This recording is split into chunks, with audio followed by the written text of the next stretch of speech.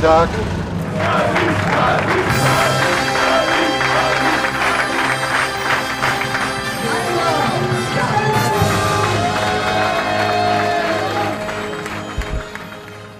Bei allem Zoff, bei aller Rivalität, auch wenn, wenn wir sind noch ein paar 60 dabei, es führt kein Weg dran vorbei. Bayern München ist unser Visitenkarte des deutschen Vereins Fußball auf internationalem Parkett, ist unser Flaggschiff.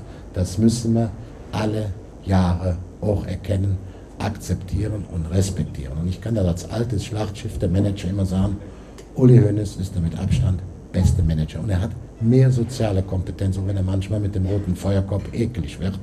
Ähm, dann ist er echt ekelig. Wenn er keinen roten Kopf hat, dann spielt er das, die Rolle. Verstehst du? Aber kommt immer ganz gut an. Ist er ohne Wenn und Aber mit einer unwahrscheinlich, in diesem harten Geschäft, mit einer unwahrscheinlich großen sozialen Kompetenz ausgestattet. Und ich hätte es ihm auch so zum Abschluss gegönnt, nochmal eine Schale, habe ich schon mal gesagt, du hast so viele Schalen da von dem Zeug da rumstehen, jetzt gut auf eine mehr oder weniger nicht an. Gewinn, der beste Vizemeister, da seid ihr in der Champions League.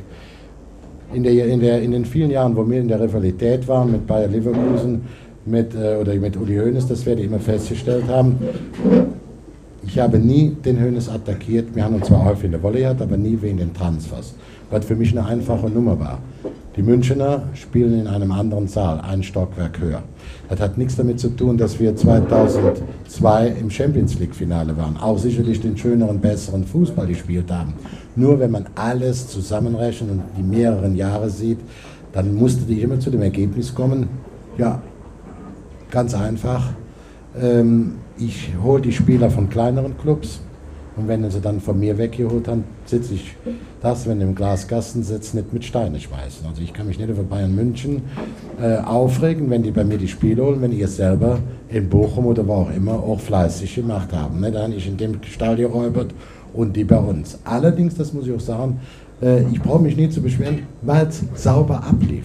Mit dem Hönes kleiner Drecksack, abgewichstes Gärtchen, aber hundertprozentige Handschlagqualität. Rainer Kalmund im Stadion an der Schleißheimer Straße. Dankeschön.